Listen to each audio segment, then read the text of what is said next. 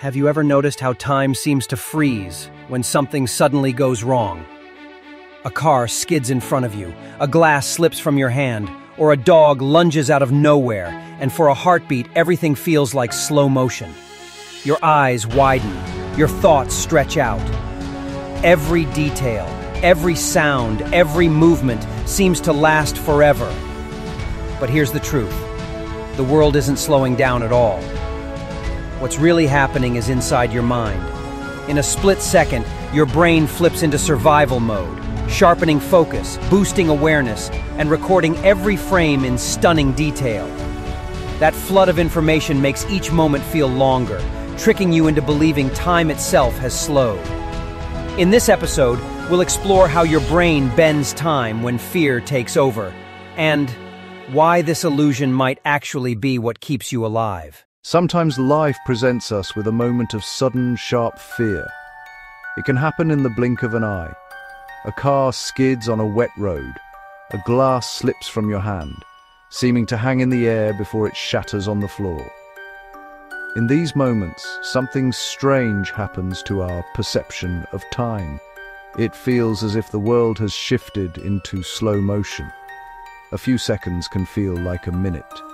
This is a common human experience. It is not a trick of the imagination. It is a fascinating function of the brain, a survival mechanism designed to help us navigate danger. Imagine you are walking through a quiet park late in the evening. The path is dimly lit by old-fashioned lamps. Suddenly, a large dog barking loudly leaps out from behind a bush. Your heart hammers against your ribs. Your breath catches in your throat.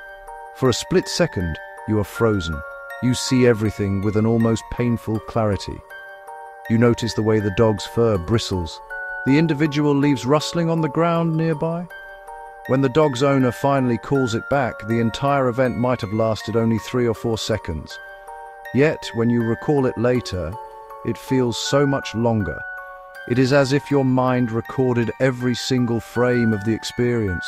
This sensation has puzzled people for centuries, we often hear stories from survivors of accidents, soldiers in battle who describe time stretching out before them. They speak of having enough time to think, to plan and to react, all within a moment that should have been over instantly. This feeling is not a sign that something is wrong. Instead, it is a sign that your brain is working overtime, doing exactly what it evolved to do. It is flooding your system with the resources needed to face a potential threat. The world isn't slowing down for you. Rather, you are speeding up to meet the world. Your brain is giving you a gift, a moment of heightened awareness when you need it most. Science has taken a keen interest in this phenomenon. At the heart of our fear response is a small almond-shaped structure deep within the brain called the amygdala. You can think of the amygdala as the body's smoke detector or its central alarm system.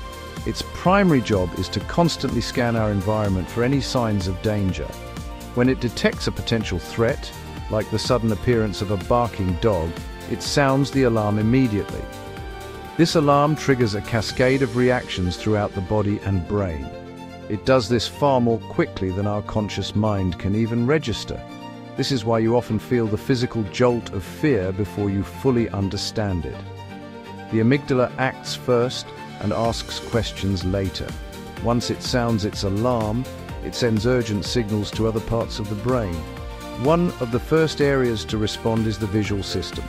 Your eyes and the brain areas that process sight become hyper-aware. They begin to gather information much faster and more detailed than usual. It's like switching a camera from standard definition to high definition. This heightened visual processing helps you notice many small details during a scary event. The amygdala is telling your visual system, pay attention. Everything you see right now could be important for survival. This is not an illusion. Your brain genuinely takes in more visual data per second than when you are calm. Attention is like a spotlight that our mind can shine on the world. When we are relaxed, this spotlight is often wide and dim, it covers a broad area, allowing us to be aware of many things at once, listening to music, reading a book, and noticing the sound of rain outside. However, when the amygdala signals danger, something dramatic happens. the spotlight narrows and intensifies into a focused beam. All your mental energy is directed toward the source of the threat. Everything else fades into background noise. This intense focus is a survival strategy. In peril, your brain decides only the danger matters. Dinner plans fade away, calendar and tomorrow's tasks fade away. Your full cognitive capacity processes the threat. You become exquisitely sensitive to details inside that beam, the subtle shift in a person's expression, the precise angle of a falling object, the exact texture of the ground beneath your feet. The brain soaks up dense information from that small slice of time, making the moment feel richer. Think of it like watching a film, a normal scene, a few cuts, a few seconds. Slow motion action, one event shown from many angles. The action may last a second in real time, but feels much longer. When scared, your brain becomes its own director, creating slow motion. Dedicating attention stretches the experience in perception. The more you notice, the longer it feels. This was tested in labs. David Eagleman had volunteers free fall into a net. He asked them to read numbers on a wrist device during the fall. If time slowed, they'd read the flashing numbers. Interestingly, they could not. The other crucial ingredient in this recipe for slow motion time is memory.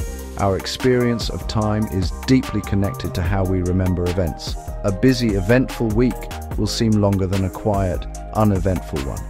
This is because your memory of that week is filled with more distinct moments, or memory flags.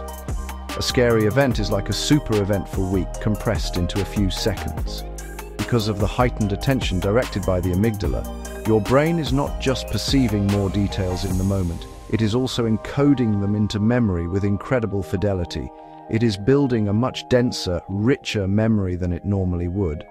The amygdala does more than just sound the alarm for fear. It also works closely with the hippocampus, the brain region responsible for forming new long-term memories. When the amygdala is highly active, it essentially tells the hippocampus, this is important. Remember all of this. This is why memories of frightening events are often so vivid and long-lasting. A phenomenon known as flashbulb memory. You might not remember what you had for breakfast last Tuesday, but you likely remember exactly where you were and what you were doing during a moment of intense shock or fear. Your brain creates a priority file for this information. When the scary event is over and your system begins to calm down, you reflect on what just happened. As you access the memory, your brain unpacks a huge number of details. You remember the sound, the sight, the feeling, all in a rich tapestry of information because there are so many details packed into the memory of such a short event. Your brain concludes that the event must have lasted for a long time. It is a logical inference. More memories must mean more time has passed. The duration you perceive is based on the amount of data you have stored. So, the time-slowing effect is largely a retrospective illusion. It is a trick of memory.